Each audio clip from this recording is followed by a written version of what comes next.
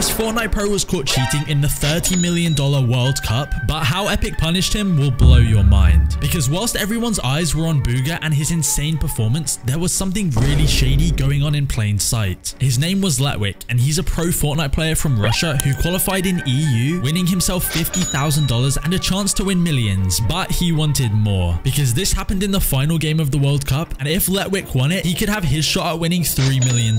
So what did he do? During the final game, Epic Game staff started crowding around the player, hiding him from everyone else, and they confronted him about what he did. Because allegedly, he was looking at other players' monitors around him to give himself a competitive advantage by getting info on their mats, heals, and position. When he admitted it, Epic decided to do something about it, but the punishment they gave him, he was disqualified from the final game and nothing more. Whereas players like Jarvis got banned for life for just cheating in one game. Subscribe if you think he deserved a longer ban.